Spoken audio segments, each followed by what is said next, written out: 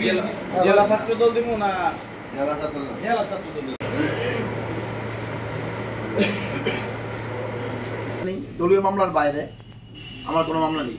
আমি আগে বলেছি, আমি রূপগঞ্জ না শুধু নারায়ণগঞ্জ জেলা বিএনপির সর্বোচ্চ মামলার অধিকারী, সবচেয়ে বেশি মামলা আমার। কিন্তু আমার কোনো দলীয় মামলার বাইরে আমার একটা কোনো মামলা নেই।